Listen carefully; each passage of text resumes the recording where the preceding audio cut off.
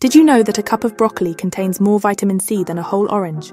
A cup-sized serving of broccoli delivers 81 milligrams of vitamin C, which is 18 grams more than you'd get from a whole orange.